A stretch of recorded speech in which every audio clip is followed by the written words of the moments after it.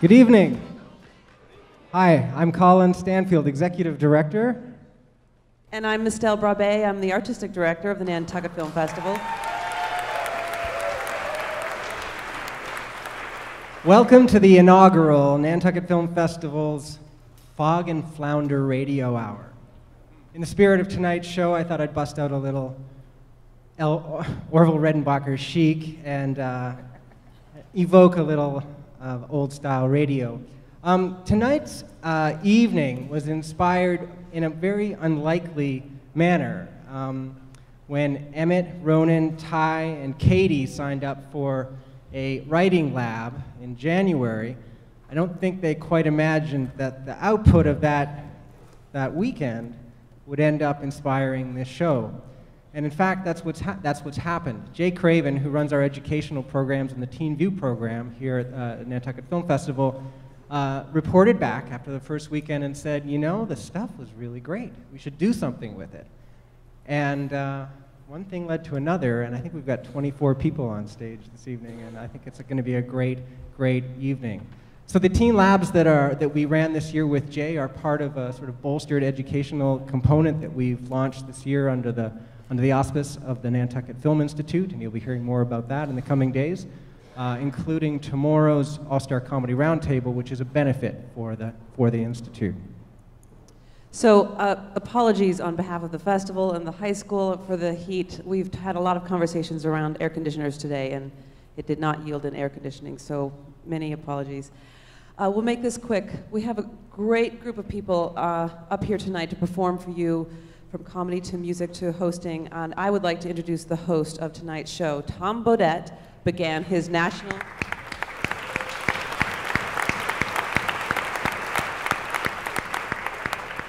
Tom Bodett began his national broadcasting career as a commentator for NPR's evening news program All Things Considered in 1984. He is the author of seven books and 15 audio titles. Bodett is currently a panelist on NPR's satirical weekend news quiz Wait, Wait, Don't Tell Me.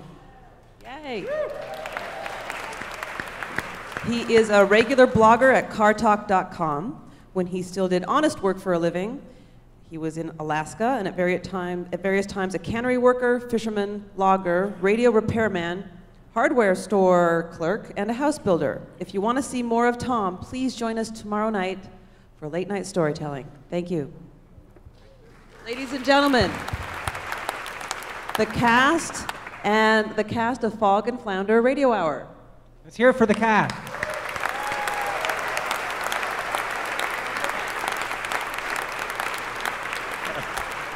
Hi, I'm Tom, and we forgot to inform Estelle that we changed everything,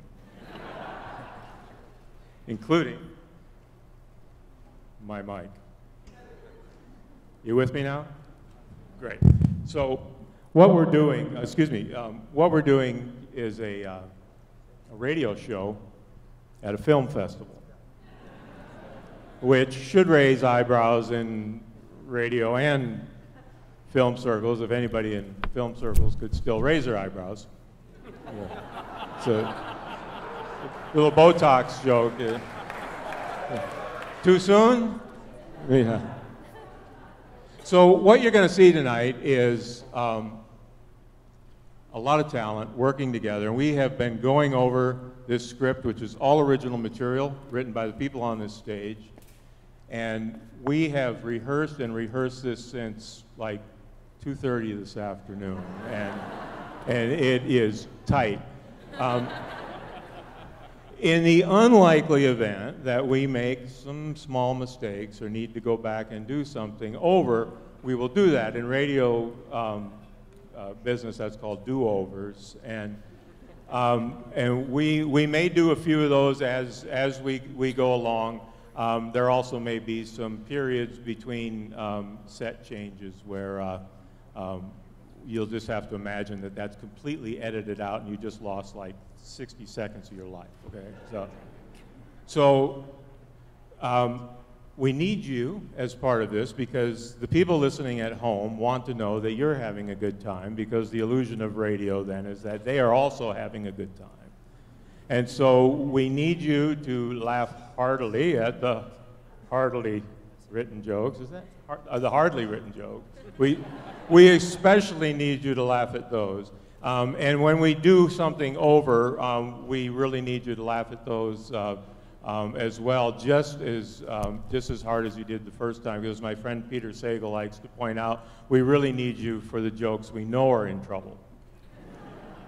and to bring everyone out, as Mystelle thought um, she was, I want to start with our musical guest, who is uh, Sierra Hull, the five-time Bluegrass Award nominee and uh, we are so lucky to have her here. Sierra Hull and her, her band. Justin Moses and Jacob Eller. Thank you. Have a seat. Our Foley artist tonight, which is a really, I didn't even know this term until tonight. It must be a film thing. Our sound effects guy, Scott Burgess, is an award-winning audio engineer, composer, sound designer, voice-over artist, and performer. Marie Claire hails from Burlington, Vermont. She's a singer-songwriter and multi-talented veteran of previous radio variety shows. Jay Craven created and directs the Fog and Flounder Radio Hour. He's an award-winning independent filmmaker and also directs the Nantucket Film Festival's Teen View Writing and Filmmaking program for local students.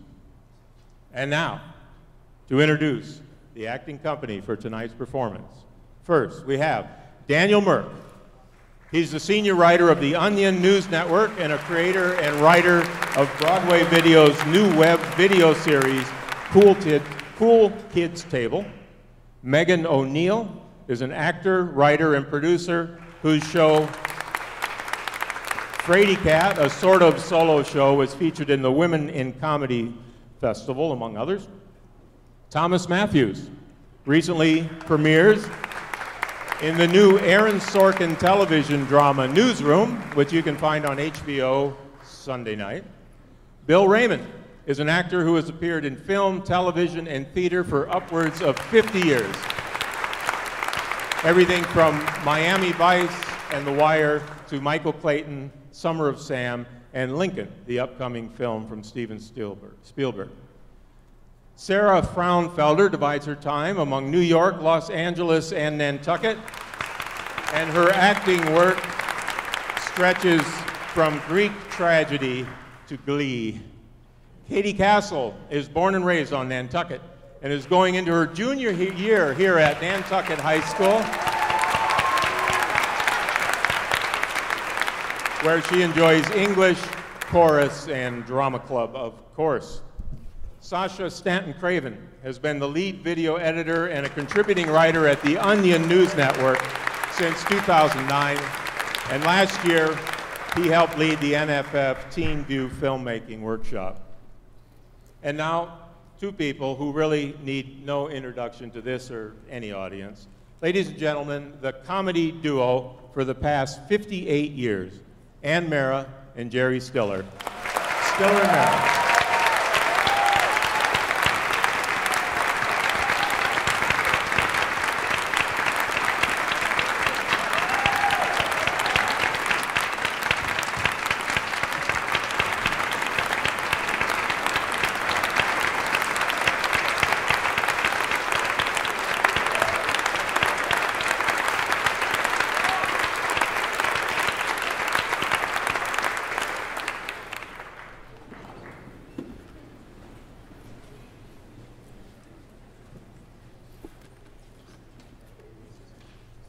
Ready to go out there?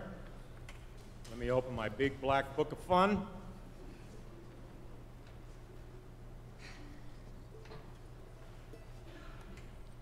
Welcome to the Fog and Flounder Radio Hour live from Nantucket. Please welcome Sierra Hull.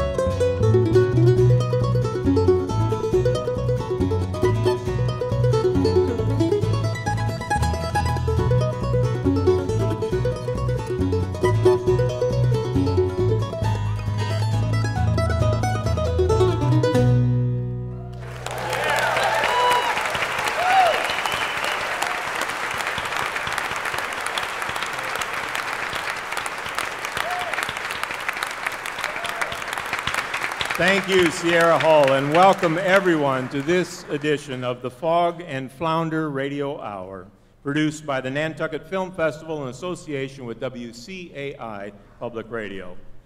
But before we get going, a few words about one of our sponsors, Nantucket Tan in a Can. A spray-on tan that will give you that hard, leathery fisherman's sheen that only sea glare can provide. That's right, we're talking about Nantan Can, Nantucket Tan in a Can. I was only on the island a few days, and I was looking for love. But all the ladies here go for the rugged fisherman look, and I'm paler than a Swedish miner's belly fat. But thanks to man, tan, tan, can, I got a tan.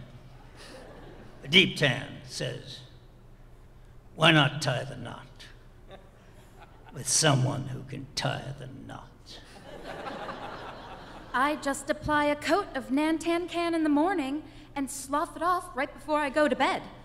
And all day long, I look like a pile of tar paper shingles in a sundress. Not to brag, but just yesterday, I was mistaken for Mickey Rourke. Hey, look. I'm a busy guy. I didn't have 40 years to spend on the water exposed to the elements. But with an Nantan can, it just took seconds for my face to look like a shriveled fig fruit roll-up. Who can give you that fake bake that says, I navigate by the stars? Only Nantan can can. So choose Nantan can, Nantucket tan in a can.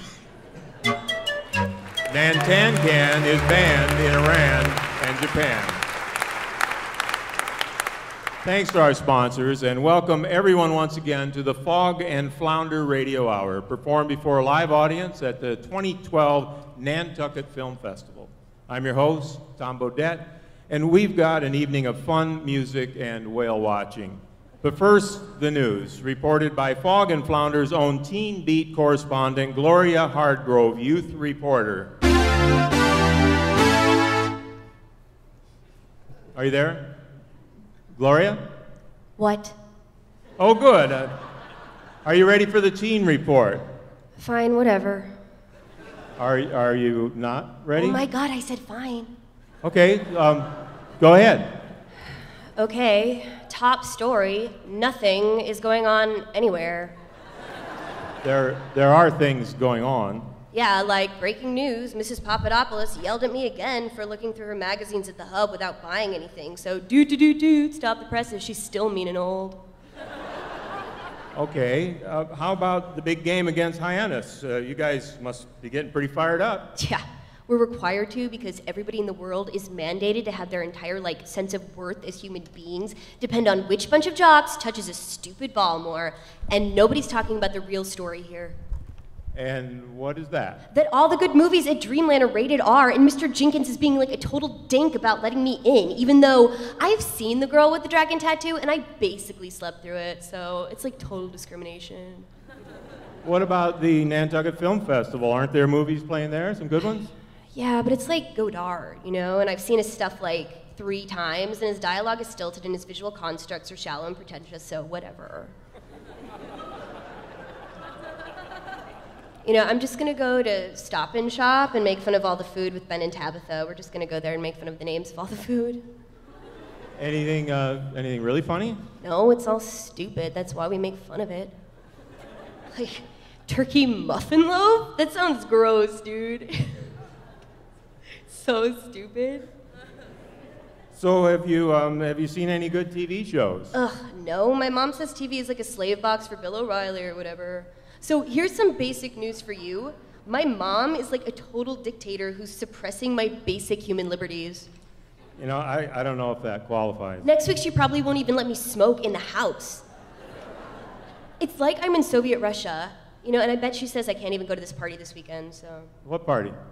I don't know Tim's party, but I don't know. I don't even know if I'll go, so. Did, did Tim invite you? I mean, sort of. He, like, sort of told me about it in biology, but. Do you, do you think he likes you? Whatever. He's just nice. I don't know. He probably just invited me because we're lab partners. Okay, well, how, how did he ask you? I mean, did he just invite you, or were there other people around? Oh, dude, shut up! I don't know, okay? Maybe I'll go. Maybe I won't. But you know, like even if I do, like Samantha Maxon's gonna be there with her guitar, and then it's like all about her and her songwriting. I thought, I thought Samantha and Tim were dating. No, they broke up like a month ago. I thought you worked in news, dude. But sources have been reporting that they were hanging around Tim's locker on Oh, Tuesday. whatever! Shut up! Can I have any privacy? God, why are you always in my business? Because you're the teen reporter? Oh, okay, fine. Okay, fine. So I messed up. All right, so it's all my fault. Well, you know what? There are some things I don't want broadcast to the whole world, okay? I get it. Great. Great, and now I'm the jerk again. Oh, I can't wait to go to college. God, why can't you just stay out of my business? Well, thank you, Gloria. Gloria Hardgrove, teen reporter. Pleasure as always. Before we continue, I have a few film festival updates and clarifications which have come up since the programs that you have went to print. Um, in your programs, there's a film called Your Sister's Sister. That film should actually be called You. Sorry for, for any confusion. Searching for Sugar Man has been pulled by Michelle Obama's anti childhood obesity program and replaced by a special screening of Honey, I Shrunk the Kids. Also, the film feature, also the film Future Weather should be listed as forecast. Seems obvious now, but you know. Next, let's turn to one of Fog and Flounder's signature features, Wilds of Nature, where our Next, let's turn to one of Fog and Flounder's signature features, Wild This is called a do-over. Next, let's turn to one of Fog and Flounder's signature features, Wilds of Nature, where our intrepid guides Ian and Jerry prepare their hunt for the wily humpback.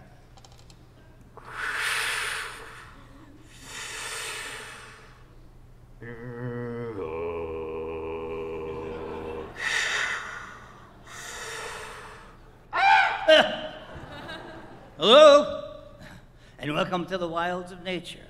I'm your host, Ian Wilds, and I'm here with my sound recorder, Jerry Probst. Say hi, Jerry. Uh, hi- everybody. Um, excited to be here. And actually, I'm the co-host of the show today. At least that's what the producers said. Nobody told me about that. Uh, you were in the email. Well, I I don't get email, I only get fan mail. And I usually don't read it because I'll make sure to send you an autographed picture, pal. All right, but I'm co-hosting. Fine, fine. I'll host the talking part, and you can host the recording part. That's not really the way that. Thanks, Jerry. Hello, everybody.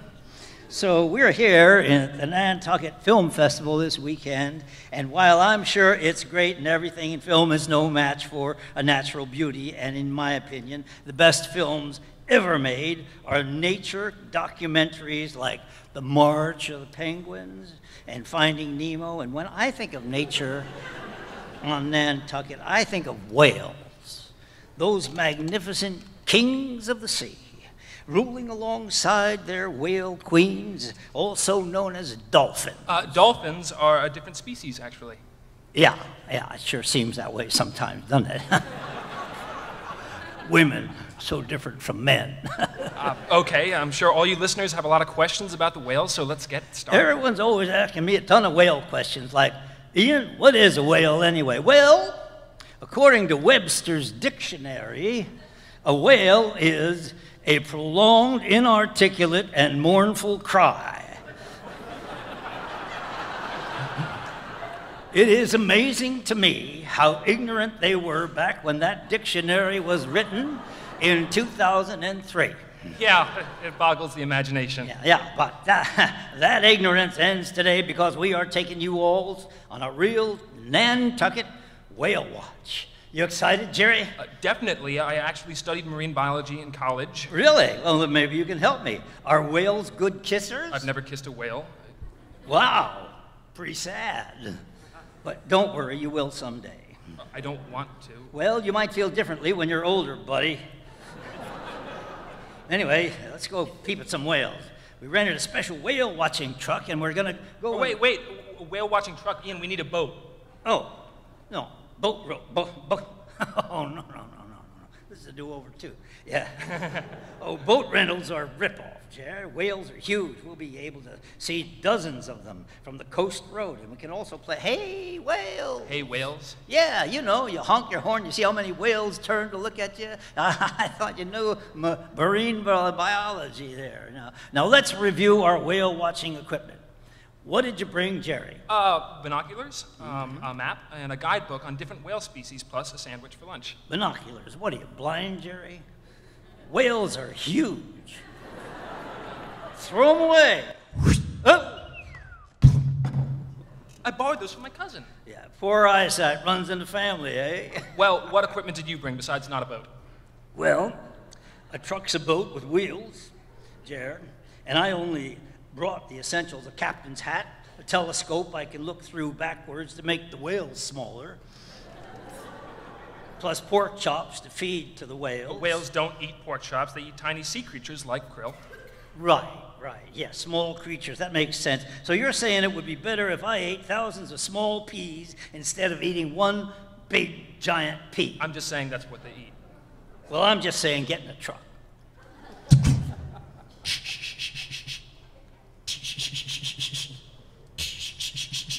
What the? The truck doesn't have any gas in it. I probably shouldn't have siphoned all the gas out. You, you what? I picked up the rental vehicle and some numbskull left it with a full tank of gas just sitting in it for free. If I resold it for three dollars a gallon, well, let's make that five seventy-five. It's all profit. Well, now we've got to use that money to go buy some more gas at 4.75 a gallon. Yeah. no can do. I used the gas money to buy pork chops. I was planning to fuel up when we found a whale, just like they did in the old days. I'm not following you, which I think means my brain is still working. Whale oil, Jerry. Duh. We need to find a whale, drill into the sucker, get our hands on that whale, then siphon it right into our tank. No, Ian, whale oil was used to, for things like lanterns. It We was act- don't need lanterns. It's daytime. Uh, regardless, seeing as we don't have gas, uh, uh, a gas whale here, uh, what's your plan?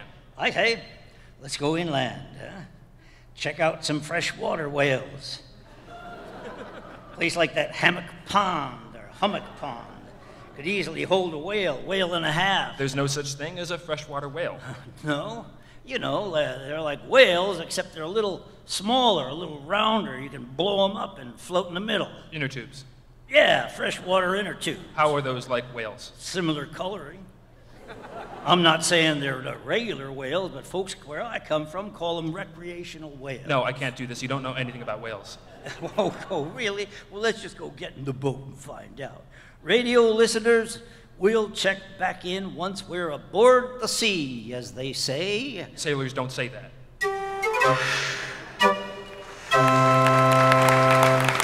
We'll tune in later to catch up with Ian and Jerry. In the meantime, please welcome back five time Bluegrass Music Award nominee Sierra Hull.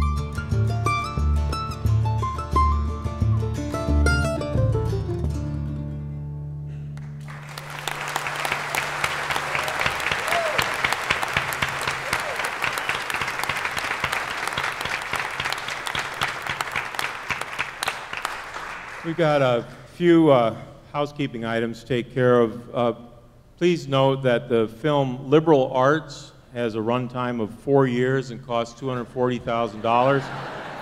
Loans are available at the festival office. Also, this evening's screening of Wetlands has been postponed because ExxonMobil tried to drill into the theater earlier today. You know, Nantucket is a perfect place for a film festival because independent film people love food. They just really don't get enough of it in their line of work. And there is no better way to treat professional malnutrition than the celebrity chefs and dazzling meals at Nantucket's fine restaurants. The food is so good. But you have to know how to handle it. Let's tune in.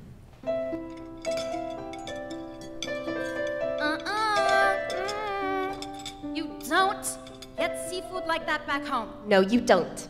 You know why? This is Nantucket. This is Nantucket. This is the real Nantucket. Where else are you gonna get scampi that fresh? Off the boat, onto your plate. Nantucket. Uh, how you ladies doing? You still working?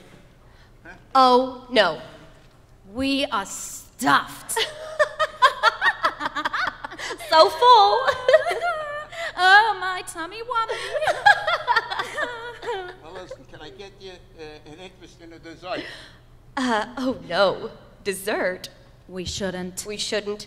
But should we? Should we be bad? We can be a little bad. Let's be bad. It's Nantucket. It's Nantucket. Let's be bad. All right. Okay, okay. We're going what to be can I bad. get for you, huh? Everything looks so good. I know decisions, decisions, decisions. You know what? Uh, can we? Uh, uh, can we? You, do you have waffles? Waffles. Yes, with ice cream. Ice cream, and how about some uh, maraschino cherry juice? Yes, can we get 16 waffles with the chunky monkey ice cream layered between each waffle in a tall stack, and then a jar of maraschino cherry juice just dumped on top? But no cherries. Okay, okay. I'm sorry, but that's not something we offer. Oh, uh, all right. No problem. Uh, what about um, um? Oh, What? oh, we What? can't. No, oh no, it's too bad. What? Oh no, it's so bad, we could be arrested for being bad. Let's do it. It's Nantucket. Okay. Okay, I know we shouldn't, but can we get a whole roasted turkey, hollowed out and filled with fudge? Oh, yum, yum, yum, Listen, we don't have that either, I'm afraid. The raspberry tort, though, is very popular. Oh, that does sound good. All right, let's get the tort. Great.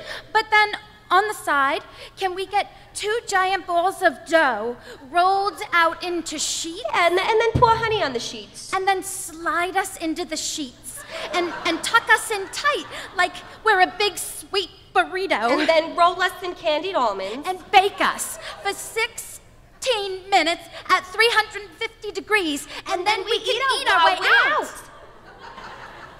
We just sold the last one. Oh, say yodel. Let's just get the scampi again. Let's be bad. 11 scampies, please. Plus a gallon of clam chowder. Why not? It's Nantucket. It's Nantucket.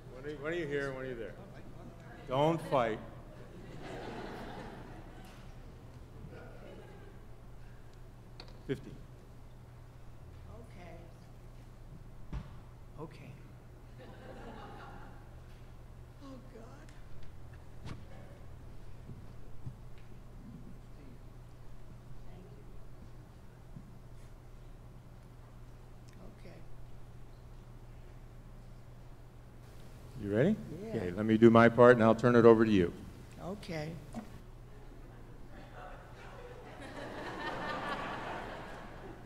Folks, folks, see, I'm so nervous working with these two. Even though she's been nice to me. Folks, one of America's most popular and enduring comedy duos make their home right here in Nantucket. Jerry Stiller and Anne Meara. Jerry Stiller and Anne Meara have been making comedy for as long as most of us have been breathing, and they make it look just as easy. Because we're From- old. From Second old. City players to stage and screen, the likes of Ed Sullivan, Seinfeld, King of Queens, and now the pinnacle of their long careers is at last realized right here on the Fog and Flounder Radio Hour. It gives us great pleasure to introduce Jerry Stiller and Anne Meara.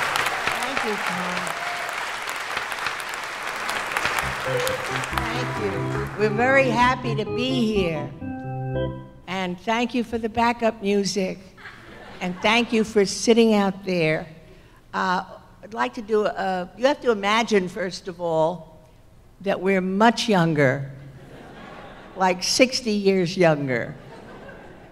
And uh, we are two people who are a boy and a girl, opposed to a man and a woman, who are meeting for the first time. They have been brought together through a computer dating service. That's all you have to know. They're supposed to be ideally matched by the. Ideally matched, thank you. Talk louder. Okay. Now riding on All right. track 5 Grand Central 101. Where are we? Grand Central? Sounds like it. H- h- how do you do? How do you do? I'm uh, Hershey Horowitz. I'm Mary Elizabeth Doyle. Doyle? Horowitz? Yeah, Horowitz. H O R O W I T Z. Hershey. My friends call me Hesh. Well, Doyle. D O Y L E. My friends call me Mary Elizabeth. Is Doyle your real name? Well, sure. Why wouldn't it be my real name? I don't know. Is this guy a friend of yours or what? Oh, you want to fix me up here? Don't linger You're gonna unless you can say oh, something Oh, funny. thank you. Okay. Thank you. Get uh, off the stage. We're working, for Christ's sake. Do we go back a little bit? I think we should go, Go back. back a a. Doyle, D O Y L E. My friends call me Mary Elizabeth. Doyle your real name? Sure, why wouldn't it be my real name? I don't know. I was just hoping. No, we're Doyles. We're Dempseys on my mother's side. Dempsey, huh? Yeah. Horowitz. Yeah. Schmulowitz on my mother's side. Uh, Is, uh, Mary Elizabeth, you come from a large family. I mean, you got a lot of friends, uh, brothers, sisters, uh, all that sort of thing. Is that your real name, Doyle? Yeah, sure. Why wouldn't it be my real name? You know, I mean, I have a lot of sisters in my family. you got a lot of sisters, huh? Yeah. Sister what? Mary Monica, Sister Bernadette Marie, Sister Miriam Virginia. You have brothers and sisters? Yeah, three brothers. Oh, Buck, Bougie, and Saul. Buck, Bougie, and Saul. Yeah. Buck, Bougie, and Saul. Bougie, and Saul. Yeah, yeah. Uh, listen, uh, my real name though is. Uh, Buck, Bougie, and Saul. yeah, that's right. Yeah. So uh, what else do you want to know? Schmulowitz. That's my name. Yeah. I know, you Yeah. told me. Yeah, yeah. Um, okay. Yeah. Mary Elizabeth, do you come from a large family? I just told you. Yeah. My family, I, I,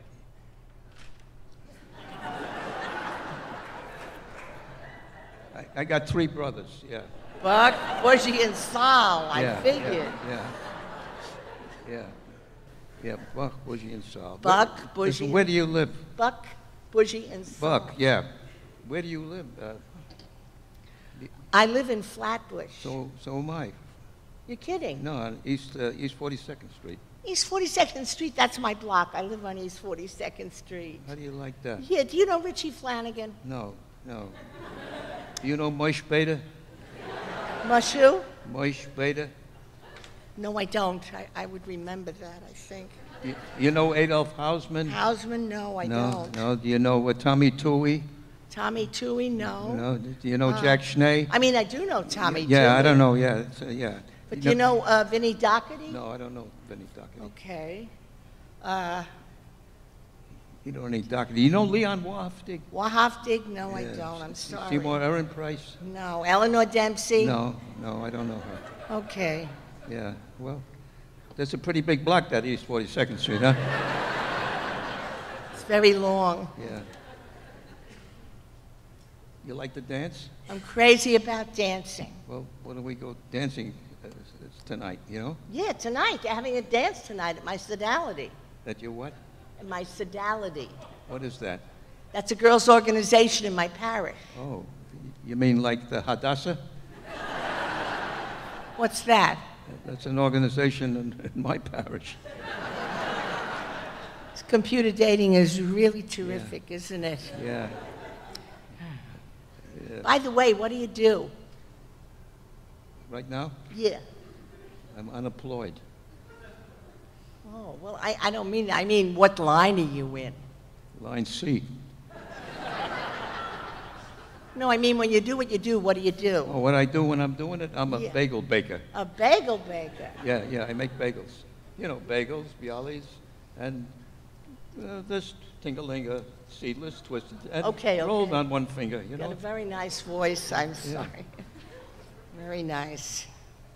And uh, I mean, uh, would you like to go? Uh, would you, would, would you like to go dancing tonight? I told you. Yeah, They're having a dance tonight at my sodality. that's a good idea. Okay, yeah. Uh, listen, uh, where do You you? have a very nice voice. You do. Thank you. I do too. Okay. what do you do for recreation? Oh, for recreation? Yeah. What do you mean? I mean, in summertime, where do you go? We go up to the mountains. Oh, yeah. So do we. We go to the Catskills. Yeah. Well, that's where we go. Really? Where do you stay? Jaime's Kochelein. Okay. Where do you stay? We stay at Hennessy's Haven. Hennessy's Haven? That's right. Never heard of it. No? Well, it's a big mountain. Listen, uh, uh, are you hungry? I am. I could really eat something. Look, it's uh, Friday night. Why don't we go to my mother's house? She makes great chalupchkas, kashavanchkas, mandlach. What's that? What's what? All those hochs. You mean chalupchkas? Yeah, Halskipers.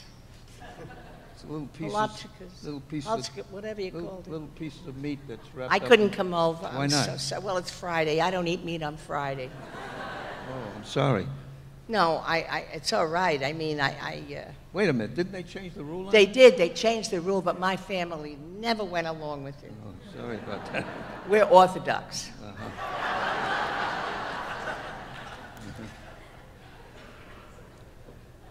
Hey, I got a good idea. Yeah. Why don't you come over to my house for Sunday dinner? Well, I'd like to, but uh, you think it's uh, There's all right? always room for one more. My mother always has a big spread. If it's not roast up pork, it's baked with ginger ham. Well, so that- no good. See, I wasn't thinking. That No, was stupid of me. right. No, you don't have to eat any of that stuff. I'll fix you some bacon in it. Don't forget it. No. no. I'm sorry. Yeah. It's only I'm human. so sorry. Listen, Hershey. Hesh. Hesh. I don't want you to think I'm a wet blanket or anything of that nature. I just, well, you know, I just think this computer dating thing, I think it made a mistake. Yeah. Yeah, it looks like it did make a mistake. Yeah. Yeah. I Well, mean, just, machine. right? that's right. I mean, it's only human. Yeah. Nobody's perfect. right. I enjoyed talking with you very much. I enjoyed talking to you. Okay, well, Mary Elizabeth. I like you. I like you too. So why are we saying goodbye? I don't know. I, I just thought, you know, Look, uh, are, you, are you really hungry? I am. I'm very hungry. Look, it's Friday night. Why don't we go over to Gallagher's? They got some great filet of sole. Hey, Gallagher's. Who doesn't love Gallagher's? That's wonderful. Uh, I got a beautiful idea that's even better than that. You know, I thought we might like to go down to the Lower East Side to Ratner's and try some of their filtered fish. Oh, you mean gefilte fish? Yeah, gefilte fish. That's all fish, right? Oh, yeah, yeah. No meat or anything. No, no, no, nothing like that. No. Not me, it's my family, you no, know. No. Well, goodbye. You don't want to say goodbye? No, I don't. Well, uh, look, uh, why don't we, uh, You want to know something? what? You know, all this gefilte fish and stuff, it's really not that important. No, it's not. Well, happy, happy Christmas. A little early, but happy Chinooka. Hanukkah. Hanukkah, whatever. Hanukkah. Hanukkah. Right. Hanukkah. See you again. Thank you.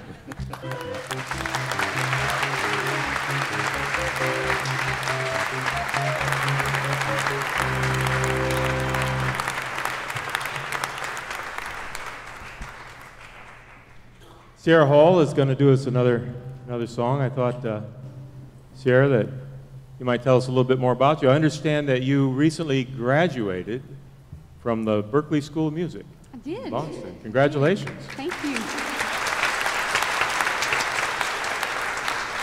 Yeah, I didn't know I didn't know they had a high lonesome program. Well, I tell you, they're moving on up. they did. Yeah, actually, for the past probably six or seven years, they've had uh, a lot of bluegrass music, a lot of acoustic folk music come through there. You can now go there and, and be a mandolin player. So it's really an exciting time to, to be there. and you didn't learn how to play this at Berklee. You you went there knowing what you were doing, I assume. Uh, well, I've been playing mandolin and um, since I was eight years old and singing in church and things like that since I was really young. So what are you now, 12? Um, uh, reverse that. I'm almost 21. Well, so- almost. in the middle of your career. That's right. So what are you doing next? Uh, well, I just had a, a new record come out about a year ago, and we're going to do the, the title cut off that album called Daybreak. All right, let's hear it.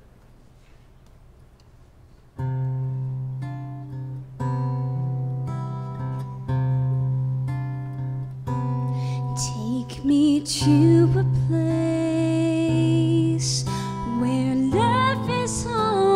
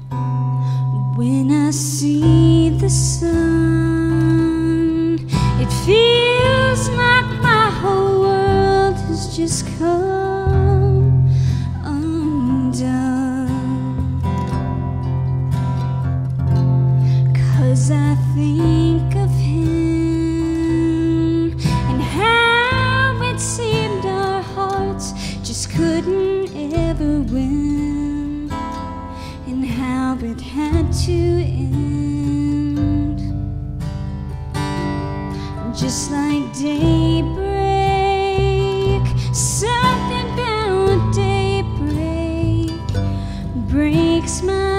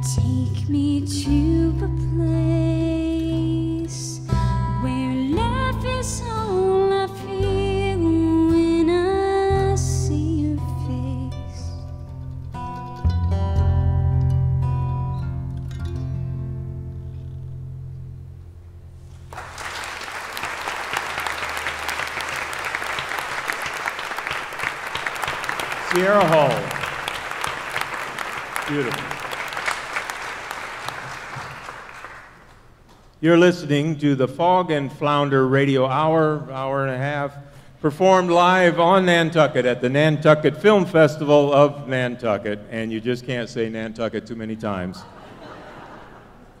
Ladies and gentlemen, the Nantucket Film Festival works during the winter and through the festival week to cultivate writing and filmmaking skills among local teens. We've got a handful of sketches we'd like to share from Teen View workshops. Have you ever brought home a good grade that your parents thought could have been better?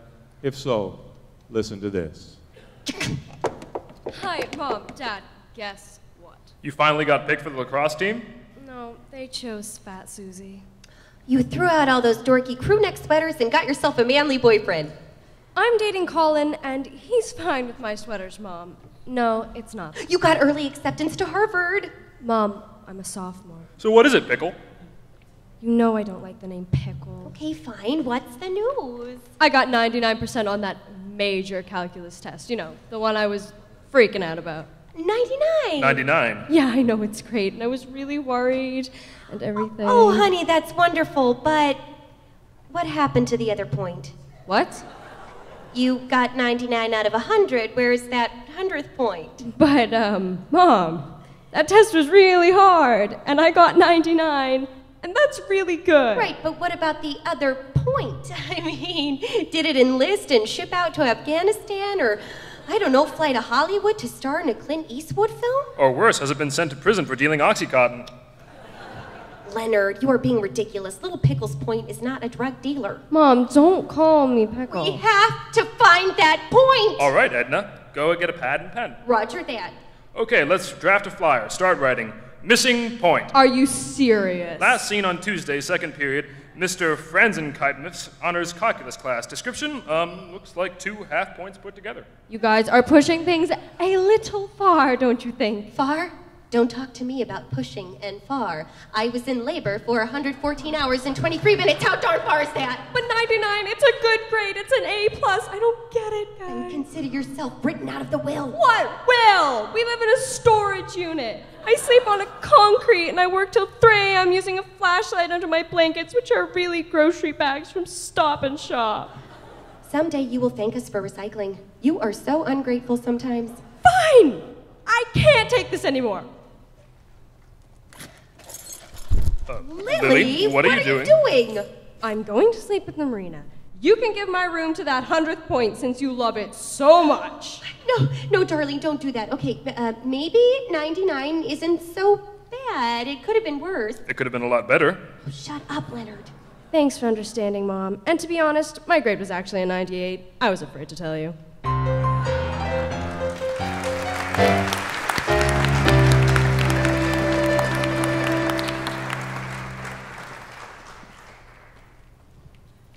And now a commercial. Hey, you! What are you chewing on? Sandwich, goat tongue with alfalfa sprouts. You want some? Not a chance, but I think the trash can does. Hey, that was my sandwich. What's your beverage? You don't need a beverage when you're eating goat tongue. It's so naturally juicy. That's where you're wrong, little man. You need a tasty beverage. You need Muscle The mega awesome energy drink that will rip your abs and mutilate your muscles. Is that a good thing? You bet it is. Brought to you by the same folks that gave us the H-bomb. Wow, that's pretty good credentials. You got some on you? Yes! Uh, how does it work? You pop open a 357 ounce muscle drink and chug the contents for just 19 seconds.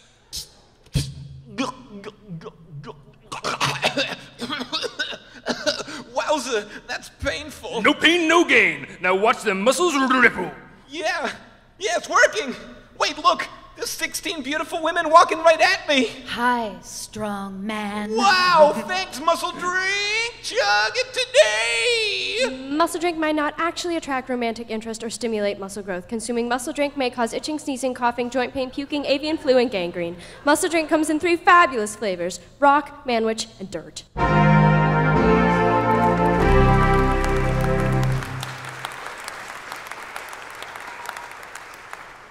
And now for a visit at closing time to the Island Pharmacy. Uh, hi, hi there. Um, I- I'm just getting ready to leave. How may I help you? Hey, uh, we, um, we're looking for cotton balls. Look, I- I've got to go. Um, you'll find them next to the Q-tips. Whoa, uh, what, uh, what, uh, what kind of money we're talking about here? For you, $12.75 per cotton ball.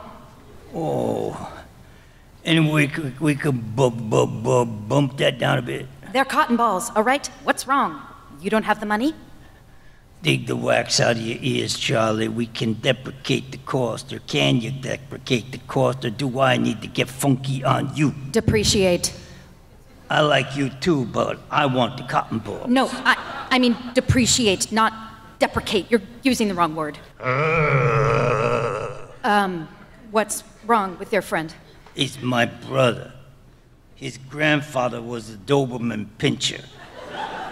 And he don't like to be told no. He gets irradiated when people argue about schematics. You mean semantics. Schematics or diagrams. See, now you made my brother aggregated. And when he gets aggregated, he tends to drool and starts barking. It gets real loud and wet, and then we all have a problem. Look, here are seven cotton balls. Give me a buck and a quarter. We want five more. Why? Me and my sociopath here are going to rob the bank across the street here. But first, we gotta take these cotton balls, see? And and we stuff them like this so we felt this all that we found brother man window from the care squad father. Scrod, father?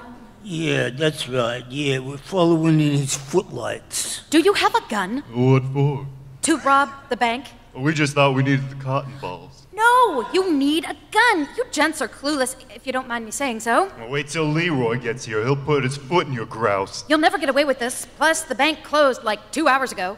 Wait, I thought you said we needed to check the schedule. I thought you said check the cesspool. I didn't say that. Check your ears. You're not kicking my yard cars. Good luck at the bank, boys. Sorry, I gotta go home. Turn off the lights when you leave. Let's hear it for the Nantucket Film Festival Teen View. You've got a future here. You know what they say if you can make it in Nantucket, you can make it in, say, Sconset, even Edgartown or Woods Hole. The world is your oyster, and that is awfully good with the light vinegar and shallot broth. A couple more program updates from the festival. Sleepwalk with Me is actually not a film, but a fun night activity that ticket holders will be doing later at Mike Birbiglia's house. And The Oranges is not a narrative feature, but a documentary about John Boehner's family tree.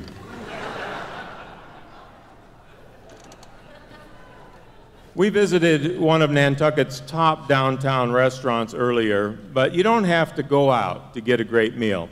Let's check in with the Robinsons for some handy cooking tips. Oh, cool. So great. Will you pass me that lemon there? Oh, thank you. Ah, nothing like an old-fashioned Nantucket lobster bake. Look at these guys, they're huge. Can I touch one? Sure, but watch out. They might snap their tails at you. Thanks for letting us come up here, Grandma. Oh, my pleasure. Is that water boiling yet? Almost. We, we, we boil them, but they're alive. Doesn't that hurt them? Well, uh, Oh, you don't have to boil them. Really? There are plenty of nicer ways to kill a lobster. Like what? Well, Billy, why don't you go look in that drawer over there? Okay. You see what's in there? It's a tiny pack of cigarettes. That's right. Now pick out a nice big lobster. That's a good one. Now take the rubber band off his claw and put one of those cigarettes in his pincers. Good. Alan, dear, will you give him a light? uh, sure.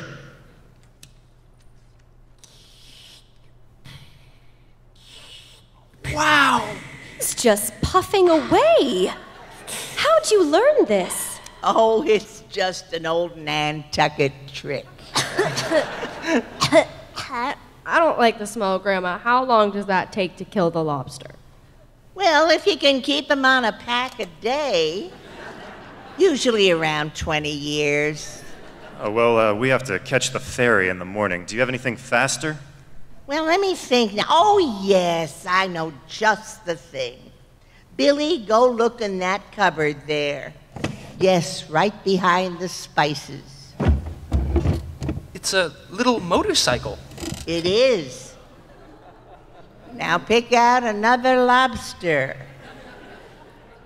Good. And put him on the motorcycle. there you go.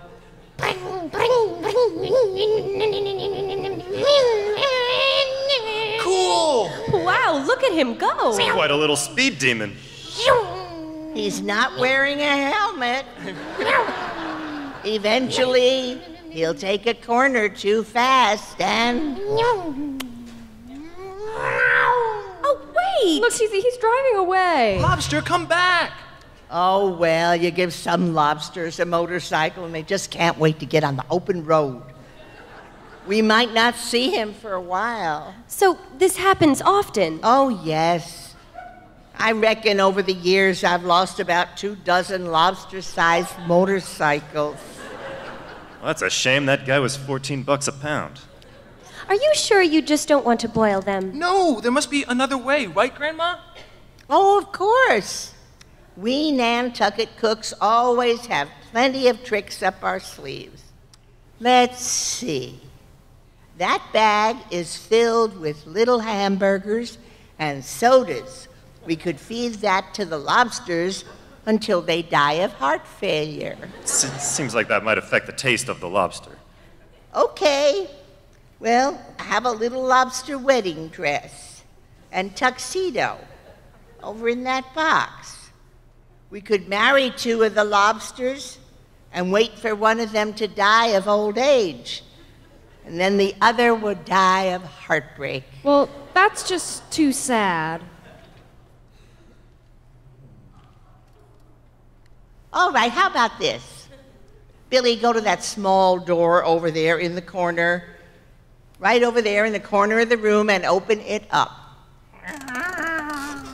It's a miniature apartment. Wow, look at that. There's a little couch in there, a little TV. There are even little pizza boxes piled up by the trash can. You made all this, Grandma? Well, I like to stay active. So, how does it work? It's simple. You just put the lobster in there and shut the door, and at the first at the first the lobster will think it's great, see, because he has always wanted his own place. But after a little while, he'll start to get a little lonely. He misses crawling over his friends back in the tank. To distract himself, he starts watching more and more TV Lobster Family Feud, Real Lobster, Housewives of Nantucket Sound, and so on and so on. Trashy stuff, you know. He'll fall asleep on the couch with the TV on one night, and in the morning, he'll think how pathetic that was. But soon, it'll become routine. All right. Then you start calling him on his little phone a few times a day, pretending to be his mother. You pester him about why he still doesn't have a job and why he hasn't found a lobster to settle down with, and about how great his brother Leon is doing in Minneapolis, working for that lobster law firm. Now, Billy, reach in there and open that tiny refrigerator. It's filled with little bottles. That's all vodka. Soon the lobster will begin drinking heavily. He will fall into a deep depression, sleeping until noon, watching obscene amounts of lobster pornography on the lobster internet. Disgusted with his lobster self, Billy, look inside that little closet. It's a pot. One day, after spending an hour and a half looking at photos of his ex girlfriend's lobster wedding dress on Lobster Facebook, the lobster, drunk and crying and calling himself a coward, will fill that pot with water, throw in a little salt, light the fire under it, and climb in. He might as well accept his destiny. For him, being boiled won't be painful at all, but a sweet relief from the agony of his very existence. You know what? Let's just order a pizza.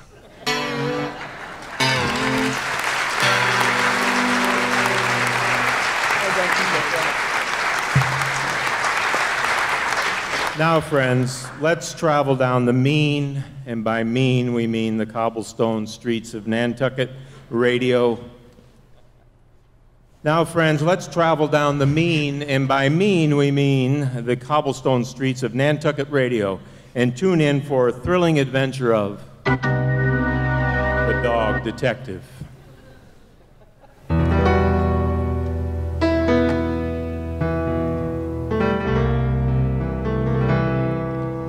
The dame walked into my office just after midnight. Or maybe it was two in the afternoon. I don't have a very good sense of time. I'm a dog. Blah, blah, blah, husband. Blah, blah, murdered. I don't understand a lot of human words. But husband and murdered are two words I hear a lot in my line of work. Blah, My ears blah. perked up. Blah, blah, blah, blah, blah. I could tell the dame was upset because she smelled like crying. Blah, blah, blah, blah. But I don't take cases out of charity. Blah. She was saying words I knew well, like cops, and this, goes, all the way to the top.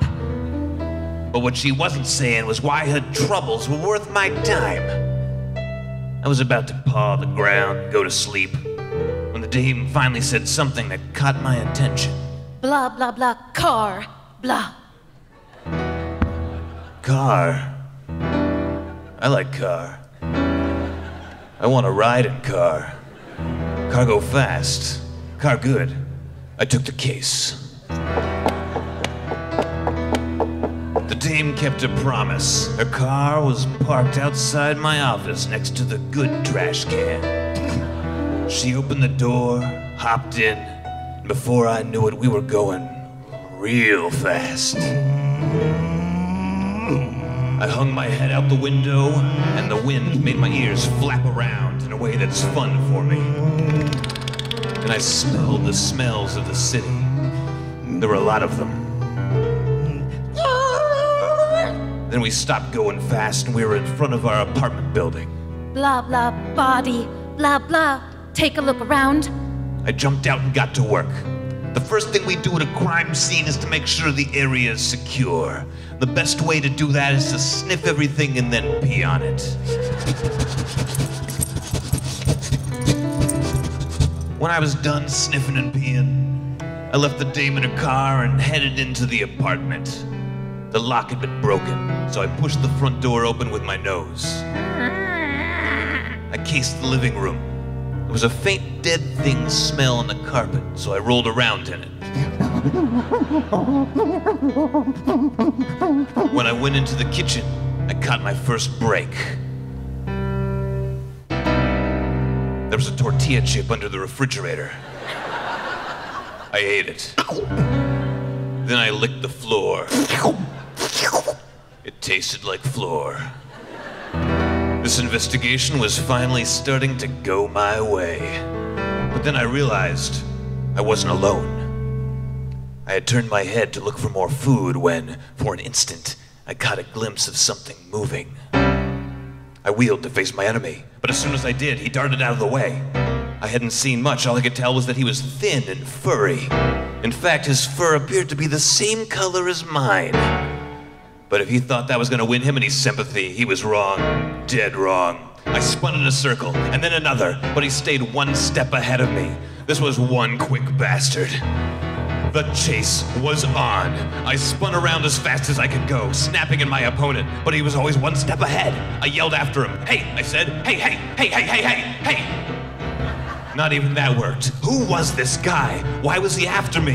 Why was I after him? The questions kept piling up. Whatever I'd gotten myself into here, I was in too deep. That much was clear. My mind raced. I kept running in circles. The next few minutes are nothing but a blur of chasing, snapping, and then finally, darkness. I guess I took a nap. When I came to, the apartment was quiet. Whoever I'd been chasing apparently skedaddled. I sniffed around the apartment for something tasty, but all I could find was a matchbook smeared with a bloody fingerprint. It had writing on it, but I'm a dog, I can't read. Instead, I chewed the matchbook up and left little shreds of it all over the living room. When I was done, I felt pretty proud of myself. It had been yet another successful case. Swallowing that stapled part of the matchbook hadn't been easy. But then again, in my line of work, nothing ever is.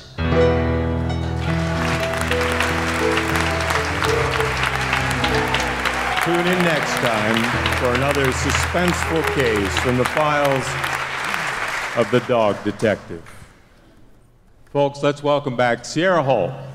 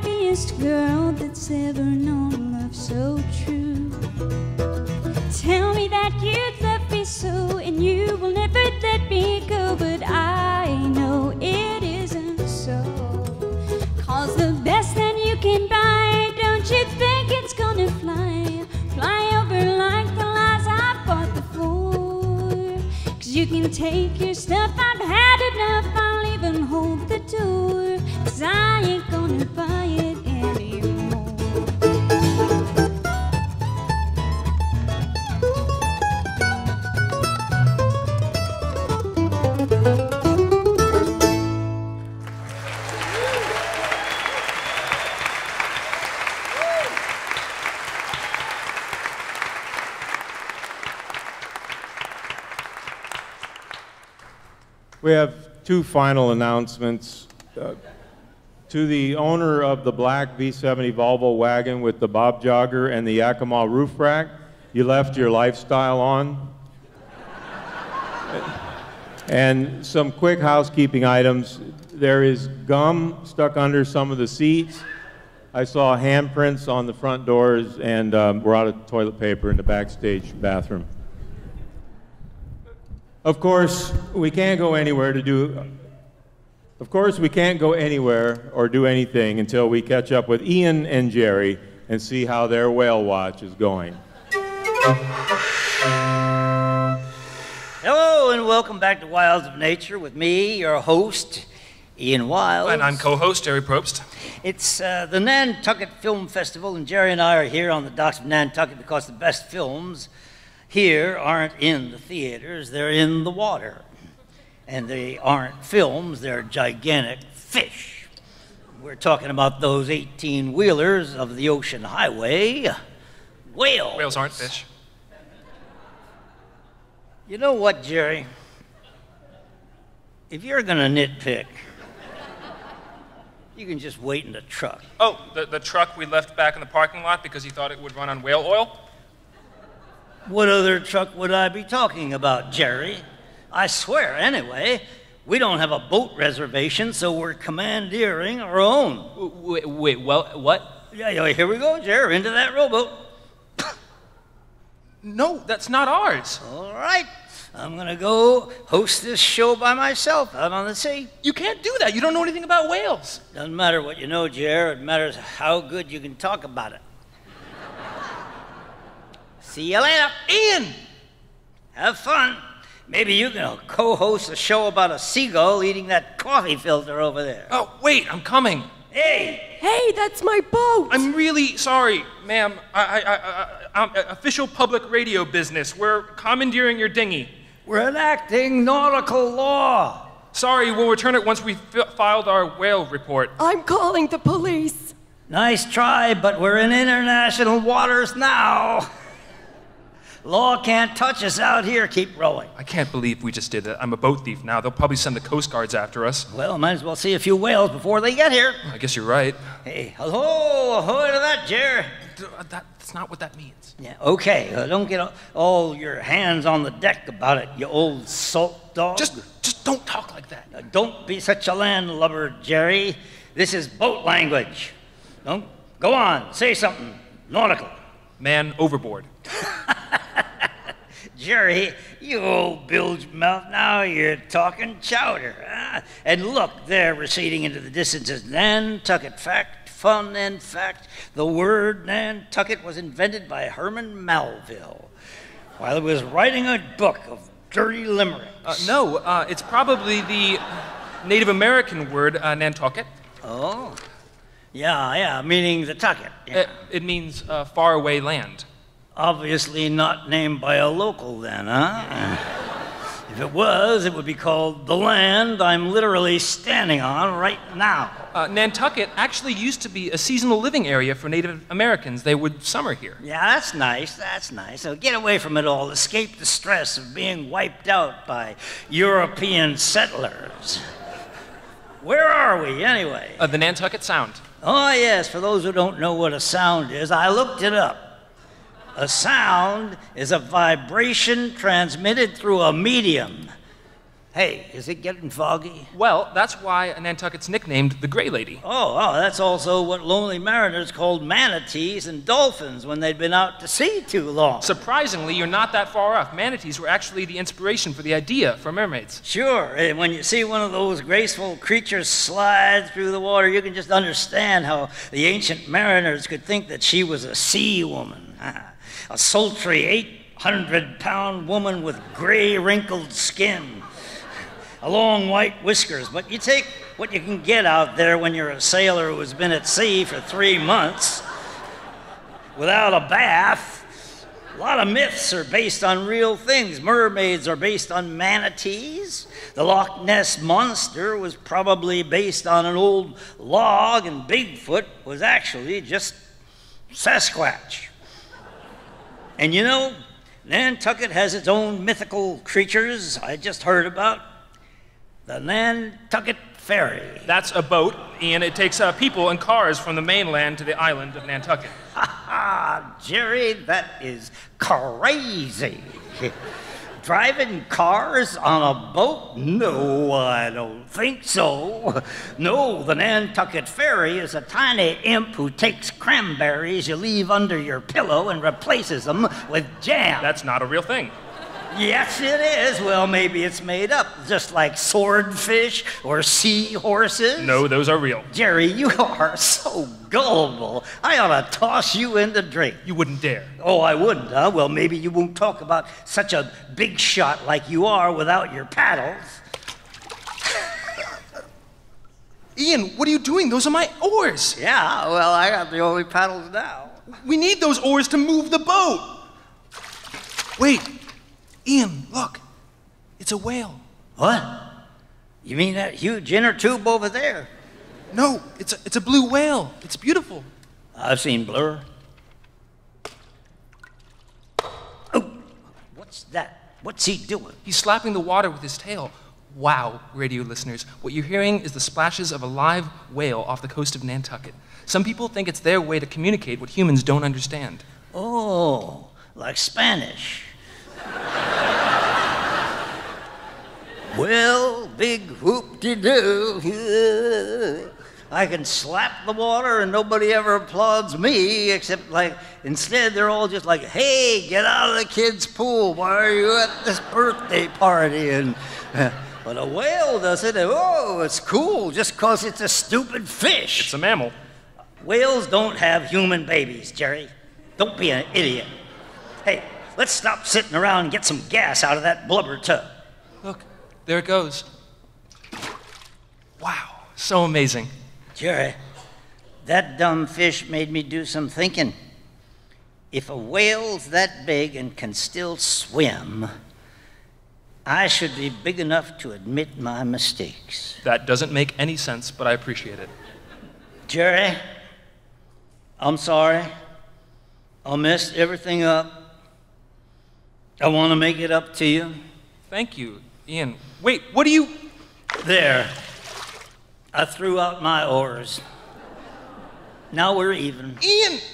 no! Jerry, there's really no pleasing you, is there? How many oars do I have to throw out overboard just to make you happy? None! Zero! You can go get the ones you just threw out and row us ashore, and I'd be thrilled! Hey, just think about the big picture, Jerry. The sun's peeking out, and we're basically on a beach vacation, our own small wooden island that's surrounded by water on all sides, and most importantly, we're best friends. Plus, we watched a whale with our radio audience. You can't have a more successful whale watch than that. I guess not. Well, thanks for tuning in, everybody. I'm your host, Ian Wiles, here with the best friend and backup host, Jerry Probst. Join us next time on Wilds of Nature. Ahoy for now. I'm going to take a nap while we float back to shore. Jerry, can I use you as a pillow? No. Oh, okay. Well, just give me your shirt then. I can't sleep without a blanket.